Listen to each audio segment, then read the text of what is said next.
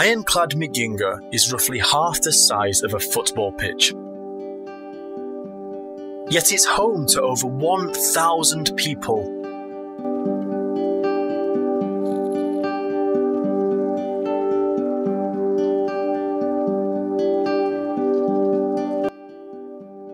Rising out of the waters of Africa's Lake Victoria, Migingo is one of a cluster of three islands. And for me, it was a mystery why the people of Migingo were willing to put up with such squalid conditions when there are two bigger, completely uninhabited islands just a stone's throw.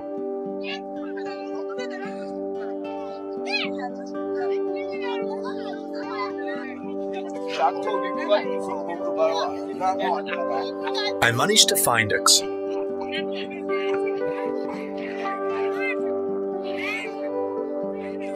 And there's no turning back now. Don't know we're coming, that's the problem. So we don't know if they're going to accept us, or if they're going to welcome us, or how they're going to accept us.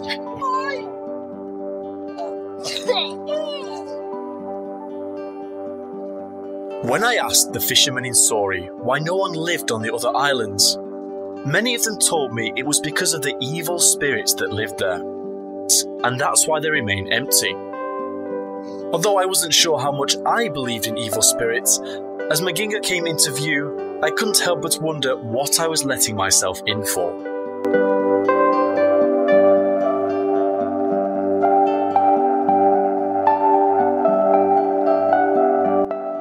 I was greeted by Migingo's so called chairman. How's the fishing here? Fishing is good, but nowadays the catch is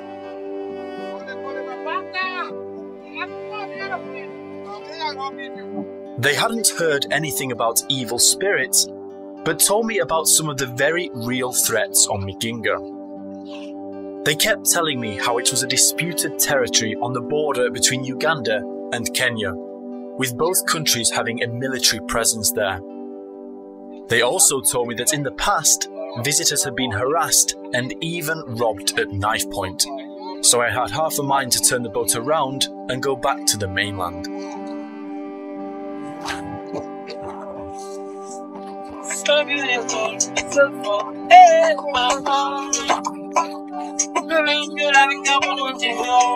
So I've just finished about three hours of negotiations with the Kenyan police, and it turns out that we don't actually have the right documents to film here. And they said we'd have to go back to Nairobi to speak to the government, and then come back, and blah blah blah. And it's not a fact that we would still get permission anyway.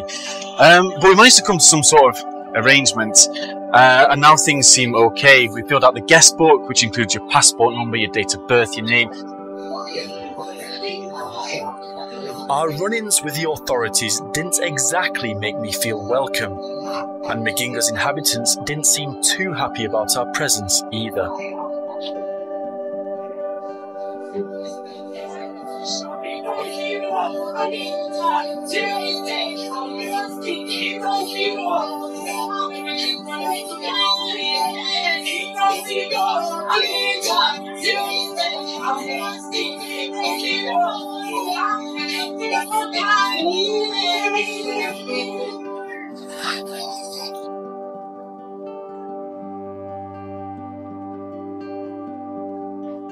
After a patchy sleep, I went to try and speak to some of the islands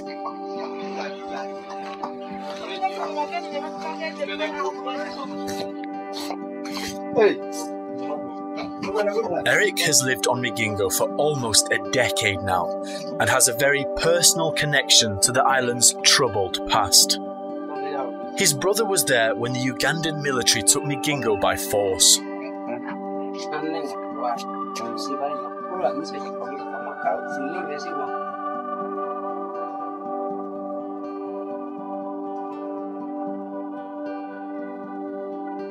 As Eric got ready to head out to the lake, I thought I'd speak to the chairman, John and Edward, to see if I could find out who claimed the island first.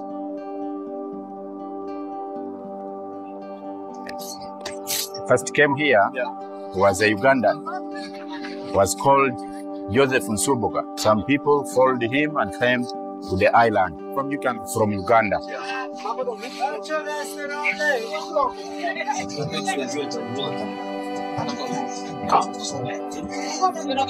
So this is probably the main street. Ugandan people.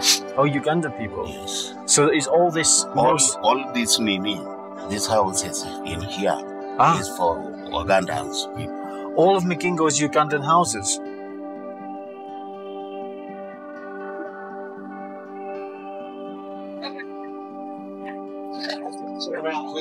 Joseph Nsubuga's bar was probably the lighted by their passion for football. Up to you. As I say, this clearance is straight to Stewart Downing. Will be a throw to the Hammers. It turns out that most of the buildings on the island have Ugandan owners who rent them out. Saying I'd spent some time on Migingo, but I still hadn't got to the bottom of the mystery of the other islands, the whole reason behind my visit. So I was still keen to find someone who could tell me why the other islands remain pretty much uninhabited.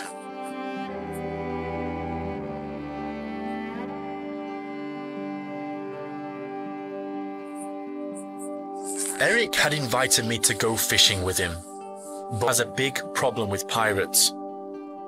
Eric's boat looked like it had seen its fair share of repairs, and once he's cast his 90 meter net, he sleeps on the boat until morning to save fuel on the return journey. But with the potential dangers on the lake, I thought it best not to hang around.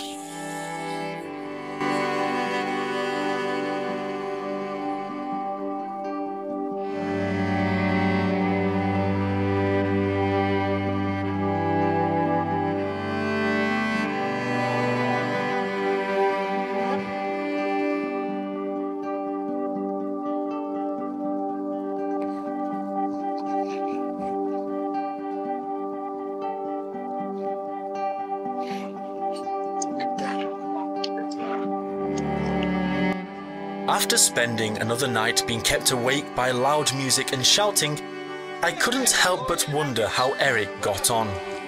So while I waited for him to return, I decided to learn more about Migingo's pirate problem.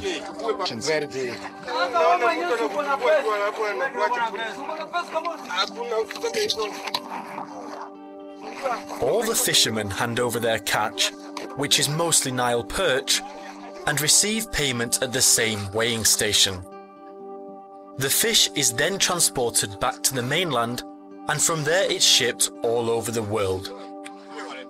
Not only is Nile perch more abundant around Migingo, but this bulk selling helps fishermen like Eric earn over twice as much as they would back on the mainland.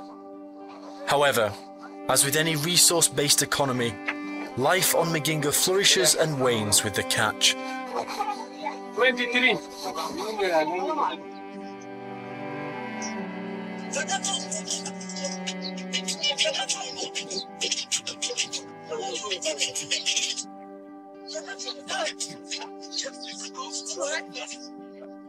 It turns out both John and Edward seem to have business interests all over the island. As well as charging us a fee for every day we stayed, both owned boats and employed people to fish. Migingo has pretty much everything you'd expect to find in a town 10 times its size. Among its many businesses are hairdressers, grocery shops, and restaurants. I also heard there was a less savoury business on the island. Yes, your geisha. This advice for later. Very indeed. very, very indeed. It seems like it's a very kind of male orientated island. You know, the, most of the men here fishing. What's it like as a woman on the island? I heard that there were a lot of women who sell themselves on the island. Women. Yeah. Like 80 to 90 percent. They don't have business. Yeah, same. You can find a woman going with seven men at An- a one, in one night. Yeah. Wow. Yeah, that's what they do, but they don't have their own businesses. Mm-hmm. Tough talks. These are the terms. You're going to sell. It was my last evening on Migingo, so I thought I would celebrate with Eric at one of the bars with some of the locally brewed but Oh, it's like a home, a homemade spirit. Yes, hey.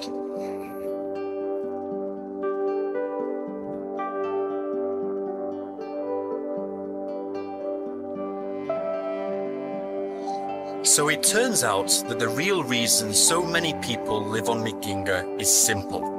It's secure and less steep than the surrounding islands. The rumours I'd heard about evil spirits were false, but that doesn't make the island or its people any less interesting, and I didn't feel that my time there had been wasted. People migrate now who will remain here? Nobody. So, was I sad to be leaving Migingo? No. But far from being an island plagued by conflict and tension, I found a place where people were living together peacefully and thriving, completely indifferent to the politics of the outside world. Many of the people we spoke to compared Migingo to a prison, and I couldn't help but agree. But that makes it all the more humped to send money to their families back home, whether they be in Kenya or Uganda. bye bye, Eric. Take care. All the best. I hope the fishing picks up for you. Take care.